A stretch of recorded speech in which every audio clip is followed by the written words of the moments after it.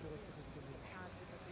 Ha tentato di rapinare un furgone portavalori dell'All System che si trovava di fronte all'ufficio postale di Via Montale nel quartiere Valletta a Torino. È accaduto oggi, venerdì 4 maggio, in tarda mattinata. A dare l'assalto al furgone, armato di uno scacciacani, un vigile del fuoco di 32 anni, sospeso da qualche mese.